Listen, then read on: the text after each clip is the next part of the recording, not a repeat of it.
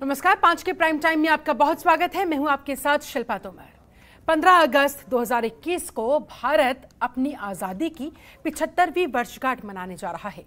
तो वहीं इससे एक दिन पहले, यानी कि 14 अगस्त को हमारा पड़ोसी मुल्क पाकिस्तान भी अपनी आज़ादी का जश्न मना रहा है।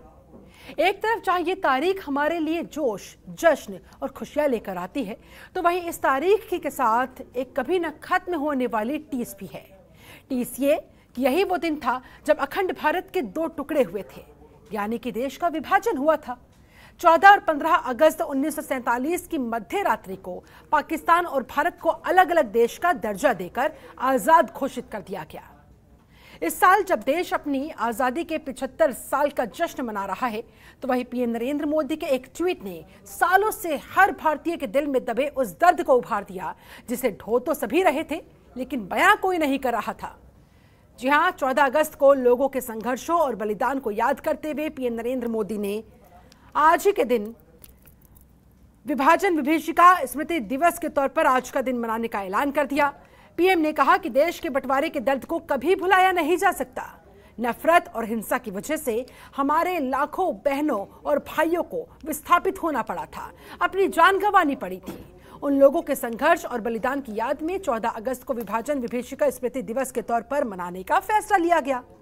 इसी के साथ मोदी के इस ट्वीट ने राजनीतिक और सामाजिक हलकों में उबाल भी ला दिया कि आखिर जश्न के इस मौके पर क्यों याद आया पीएम मोदी को विभाजन का दर्द, जिसके लिए हमेशा से ही गांधी और नेहरू को जिम्मेदार ठहराया जाता रहा।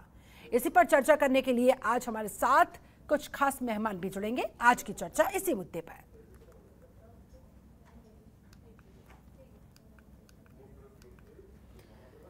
और हमारे साथ एक पूरा खास पैनल इस मुद्दे पर चर्चा करने के लिए इस समय जुड़ा हुआ है। मैं उनका तारुफ आपसे जल्दी से करवा देती हूँ। हमारे साथ रामचंद्र राही जी जुड़े हुए हैं। बहुत बहुत स्वागत है सर आपका। अध्यक्ष हैं गांधी स्मारक निधि के। बहुत स्वागत करती हूँ आपका। बीजेपी नेता अमित पुरी जी हमारे साथ मौजूद है। बहुत स्वागत है अमित जी आपका। और अतुल लोंढे पाटिल, कांग्रेस प्रवक्ता भी हमारे साथ इस समय जुड़े हुए हैं। आपका भी अतुल जी बहुत बहुत स्वागत है। चर्चा की शुरुआत सबसे पहले मैं रामचंद्र राही जी आप ही के साथ करना चाहूँगी। विभाजन के इस दर्द को दरअसल मैं आपसे समझना चाहती हूँ। आपके एक्सपीरियंस से, तमाम उन लोगों से जिनसे आपका सरोकार रहा होगा, क्या है ये दर्द? और आज आज की तारीख में पीएम मोदी ने इस दर्द का जो ज़िक्र किया, आप इसे किस तरह से देख रहे हैं? मैं एक स्वतंत्रता सेनानी का पुत्र हूँ। और जिस समय आज़ादी हासिल हुई थी, उस समय मेरे दरवाजे पर जो तिरंगा लगाया गया था, वो मेरे पिताजी के खून के धब्बों वाला तिरंगा था। उन्हें जुलूस में गोली लगी थी बाह में और अन्य सहयोगियों ने उस झंडे को पट्टी के रूप में इस्तेमाल किया था। वो सजो के रखा हुआ था। जी। हमारे घर में और वो लगाया गया था। लेकिन 15 अगस्त के दिन मुझे याद है अब भी हम बच्चे थे। टोपी पहने उस पर तिरंगा का एक छोटा सा आलपीन के द्वारा जोड़ा हुआ। घूम रहे थे नारे लगाते हुए गीत गाते हुए। आनंद का माहौल था। हवा में ऐसा एहसास था कि हम अब लंबे अरसे की गुलामी के बाद मुक्त हुए हैं। जी। उसके साथ साथ ये खबरें आती थीं कि किस तरह से पार्टीशन के बाद खून खराबा हुआ। कोई भी संवेदनशील नागरिक कहीं भी खून खराबा होता है वह प्रभावित हुए बिना नहीं रह सकता यदि वह संवेदनशील है। बिल्कुल। आज अफ़गानिस्तान में जो हो रहा है हमें उस दृश्य को भी देख करके तकलीफ़ हो रही है क्योंकि वहाँ की जनता तो मारी जा रही है। हर परिस्थिति में कष्ट झेलती है जनता। ये जो संदर्भ आया है आज के जी। समय। तो दर्द दर्द ज़्यादा होना यह भी लाजमी है। मुझे एक बचपन की एक घटना याद आ गई। बिच्छू ने डंक मारा था। दर्द हुआ दवा हुई भूल गए। एक चीज़ याद रहे कि बिच्छू डंक मारता है। दर्द तो भूल ही जाता है आदमी। दर्द को याद रखना मैं उचित नहीं मानता।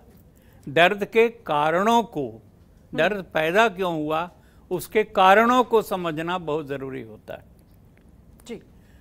प्रधानमंत्री जी ने ये उद्गार व्यक्त किया है कि पार्टीशन से नफरत के कारण जो पार्टीशन हुआ उसका दर्द उसके कारण जो वेदना सहनी पड़ी लोगों के जीवन में जो शोकपूर्ण घटनाएँ हुई, उनको याद रखना चाहिए।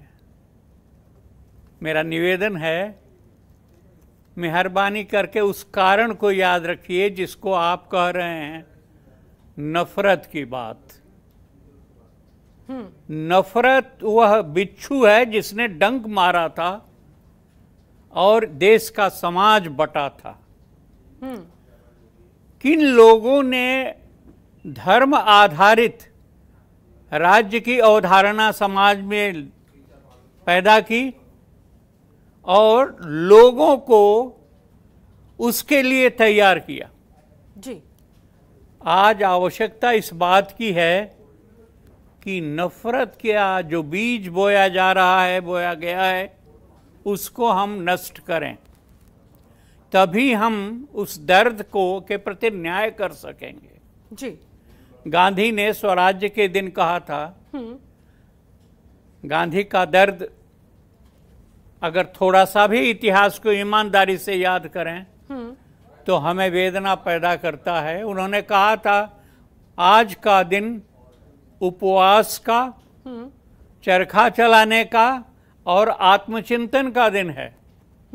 स्वराज्य को जश्न मनाने का दिन गांधी ने तो नहीं माना था। लेकिन लोगों के अंदर जो उत्साह और उमंग पैदा हुआ था उसको उन्होंने स्वीकार किया था।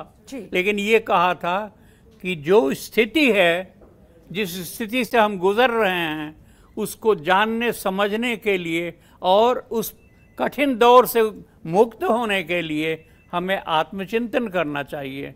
तो आज ये चौदह अगस्त हाँ। अगर इस पर आत्मचिंतन किया जाए कि ये जो नफरत है जिसका राजनीतिक इस्तेमाल हर जगह हर कदम पर किया जा रहा है हर संदर्भ में किया जा रहा है वह नफरत कैसे हम खत्म करें?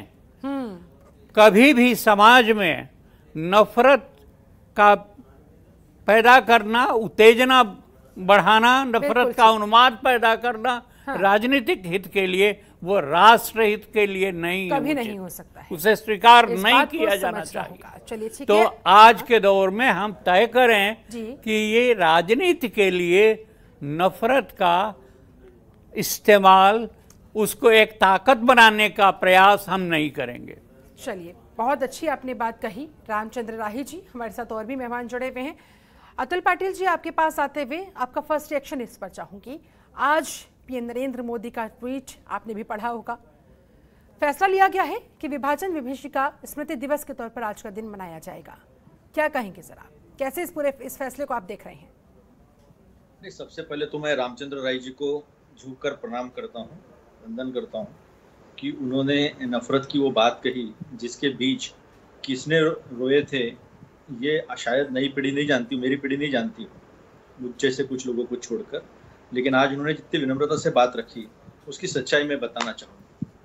1940 आते आते 1937 के चुनाव के बाद 1940 आते आते लाहौर में मुस्लिम लीग का अधिवेशन हुआ और 22 मार्च 1940 में 14 पॉइंट रखे गए और उसमें सबसे अहम रिजोल्यूशन जो पास किया गया, वो अलग पाकिस्तान का था। वो पाकिस्तान, रहमत अली चौधरी वाला नहीं, ये मोहम्मद अली जिन्ना वाला था। और मोहम्मद अली जिन्ना का ये जो ठराव है ये ठराव रखा था फजलुल हक ने। और फजलुल हक की जो मुस्लिम लीग थी उसकी सरकार आई थी बंगाल में जिसके साथ हिंदू महासभा की गठबंधन था पंजाब में भी था। हर जगह मुस्लिम लीग के साथ हिंदू महासभा का गठबंधन था। जिन्होंने स्वाधीनता संग्राम के खिलाफत की थी उसका विरोध किया था। और समझ लीजिए ये बात नई पीढ़ी के तक जाना ज़रूरी है। जी। राजपूत जी तो उसके बाद ना तो उन लोगों का 1942 के स्वतंत्रता संग्राम से कोई लेना देना था पूरे स्वाधीनता संग्राम से कोई लेना देना था।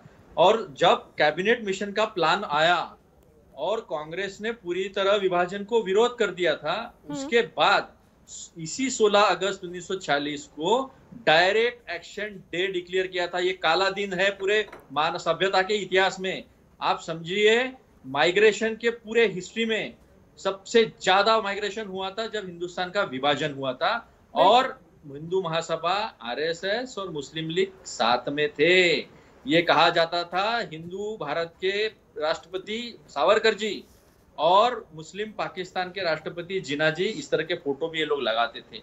तो ये जो नफरत की बात जो रामचंद्र जी ने कही है इसलिए मैंने उनको झुककर सलाम किया कि ये नफरत का दिन याद क्यों करना? और अगर याद करना है तो इसलिए याद करना ये सब कुछ होते भी मौलाना अबुल कलाम कलाम आज़ाद जी थे कॉन्स्टिट्यूंट असेंबली हम्म। में और उस कॉन्स्टिट्यूंट असेंबली ने जो संविधान हमें दिया है जो बाबा साहब अंबेडकर ने संविधान दिया है उसने धर्मनिरपेक्षता स्वीकार की और उन सब जो हमारे डिफरेंस एक एक ही दस हाँ, सेकंड जो। हमारे बीच में ऐतिहासिक मतभेद थे जो। भी हमारे बीच में एक गलत यादें थी उन सबको दफना कर हमने वो संविधान स्वीकारा जो इस भारत देश का निर्माण के लिए सारे डिफरेंस है सारे मतभेदों को भूलकर एक नया सवेरा देखा था।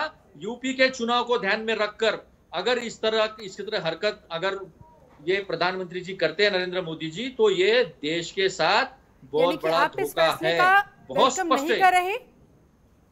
बिल्कुल वेलकम नहीं करेंगे हम क्योंकि इसका उद्देश्य हमें पता है। हम अगर उन ये कहते वो कि इस देश की धर्मनिरपेक्षता कौमी एकता हम्म। हिंदू मुस्लिम एकता के लिए मैं ये दिन याद करता हूँ तो हम बढ़ चढ़कर इसका स्वागत करेंगे लेकिन हमें पता है इन्होंने। तब भी वही किया था और ये आज भी वही कर रहे हैं क्योंकि इनके लिए इनके लिए चुनाव इंपॉर्टेंट है। चाहे लोग मरे चाहे देश टूटे ये ज़्यादा है मैं उनसे आज पूरी- पूरी तरह सिद्ध हो गया है। और यहाँ पर इस स्मृति दिवस के उद्देश्य पर आप प्रश्न चिन्ह लगा रहे हैं। हाँ सर जल्दी से अपनी बात पूरी करें उसके बाद अमित पुरी जी से मैं रिएक्शन लूँगी। उन्नीस का पहला चुनाव जो हुआ था वो इसी इसी जख्म के ऊपर हुआ था कि देश का विभाजन हुआ था। बैकस्टैपिंग किया था अंग्रेज़ों ने हमारे साथ। लेकिन उस वक्त जनसंघ जो हिंदू महासभा के बाद जनसंघ बना था आरएसएस का उस जनसंघ को केवल दशमलव तीन प्रतिशत मतदान देकर लोगों ने धर्मनिरपेक्षता कौमी एकता हिंदू मुस्लिम एकता सब हिंदू सिख ईसाई सब सब भाई भाई ये स्वीकार किया था। चलिए, ठीक है। फिर से उस जख्म को कुरेद कर उस जख्म को कुरेद कर अगर यूपी का चुनाव जीतना चाहते हैं अगर ये डिमोनेटाइजेशन ठीक है आप इसे यानी कि चुनाव से जोड़कर देख रही हैं। ठीक है। अमित पुरी जी भी हमारे साथ बीजेपी नेता जुड़े हुए हैं उनका मैं रुक करना चाहूँगी।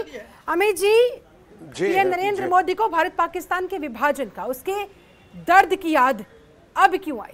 विपक्ष आपकी टाइमिंग पर सवाल उठा रहा है कि भाई चुनाव की चिंता होती है आपको? दर्द वर्द की कोई चिंता नहीं है। शिल्पा जी मैं सभी पैनलिस्ट को आज के दिन स्मरण करने नमन करते हुए मैं इस समय लखनऊ के शहीद स्मारक के ऊपर एक कार्यक्रम के अंदर उपस्थित हूँ और मैं उस धरती से बोल रहा हूँ जहाँ कॉन्स्टिट्यूएंट असेंबली के मेंबर मौलाना हसरत मोहानी ने इसी लखनऊ से कॉन्स्टिट्यूएंट असेंबली की नुमाइंदगी की थी। जी। मैं अपेक्षा करता था कि इतिहास का जब कभी पुनर्मूल्यांकन होगा तो उस मूल्यांकन को करते समय बाकी के पैनलिस्ट जो हैं वो अपने अपने पार्टीजन व्यू रखते होंगे लेकिन मायोपिक व्यू नहीं रखेंगे। लेकिन अभी कांग्रेस के मित्र को जब मैं सुन रहा था तो मुझे लगा कि मोदी बैशिंग बीजेपी पंचिंग और आरएसएस ऑब्सेशन का जो सैडास्टिक प्लेजर है जो पर संताप है उससे कांग्रेस मुक्त नहीं हो पाई और चुनाव से तो कांग्रेस कभी मुक्ति ही नहीं हो पाती। अब आइए इसके बृहत्तर आराम में कि प्रधानमंत्री ने यह क्यों कहा। कल हम पचहत्तर पचहत्तरवें साल में अमृत महोत्सव में प्रवेश कर रहे हैं जी। तो स्वाभाविक है कि जब हम अमृत महोत्सव में प्रवेश कर रहे होंगे उसके एक दिन पहले 14 अगस्त का वो दिन भी आएगा जब पार्टीशन की विभीषिका हुई थी और वैश्विक इतिहास में इतना बड़ा डेमोग्राफिक चेंज पलायन की घटना कभी नहीं हुई एक्सोडेशन की घटना कभी नहीं हुई अगर उसका स्मरण प्रधानमंत्री ने कर लिया और उन लोगों का उनमें कहीं हिंदू और मुसलमान नहीं था। उस पलायन की त्रासदी को सबने भोगा था और उस परिप्रेक्ष्य में भोगा था जब कांग्रेस के अधिवेशन में यह रेजोल्यूशन हुआ था कि हम रावी के तट पे बैठकर यह सौगंध खाते हैं पंडित जवाहरलाल नेहरू की अगुवाई में कि हम पंचनद के प्रदेश को बटने नहीं देंगे। वो पंचनद का प्रदेश भी बटा वो दूध भी बटा वो प्यार भी बटा और सीमाओं पर रेखाएँ भी आई। हम उसके ऊपर नहीं जा रहे लेकिन उस बंटवारे के दर्द के अंदर जिस तरीके से ट्रेनों से कटकर लाशें आई थी दोनों तरफ़ से लोगों ने अपने जान माल इज़्ज़त आबरू को खोया था। अगर एक सार्वभौम स्वतंत्र राष्ट्र अपने उन नागरिकों का स्मरण करना चाहता है जिन्होंने आदि आदि की विभीषिका में अपने प्राणों को खोया तो यह भी चुनाव का मुद्दा है। बहुत अच्छी बात है लेकिन। लेकिन सवाल यहाँ पर विपक्ष ये उठा रहा है अमित पुरी जी कि 2022 में यूपी चुनाव है हर कोई जान रहा है उत्तर दूँगा आपको। 2024 में लोकसभा चुनाव है हर कोई जान रहा है ऐसे में 2021 में याद क्यों आई अब मैं बताता हूँ ये 1947 में जब देश आज़ाद हुआ था और 75 साल इस समय आकर पूरे होंगे। उस समय किसी ने नहीं सोचा था कि यूपी का चुनाव 2022 में होगा और लोकसभा का चुनाव 24 में होगा। इसीलिए मैंने कहा इतिहास को जब याद कीजिए तो पार्टीजन भी रख सकते हैं।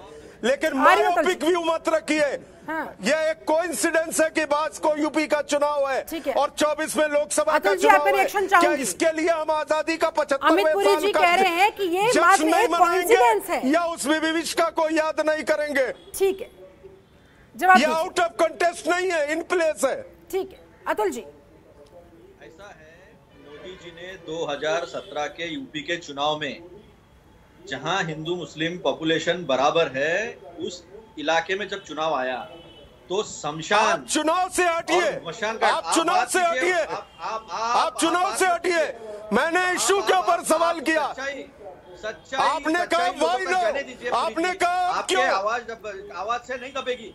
आप मुझे एक सवाल का जवाब दीजिए। चलिए कहिए गोड़ से मुर्दाबाद कहिए। आवाज़ से नहीं दबाना चाह रहे। चलो कहिए महात्मा गांधी जिंदाबाद कहिए। महात्मा गांधी जिंदाबाद कहिए। अरे आपने आपने जिना जिसके महात्मा गांधी जिंदाबाद।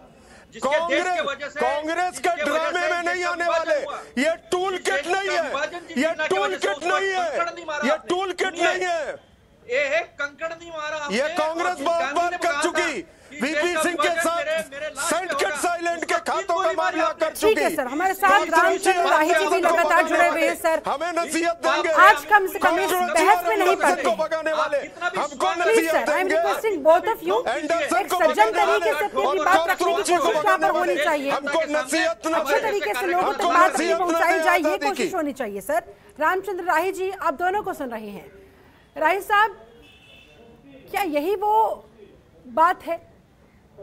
क्या इसी बात का ज़िक्र?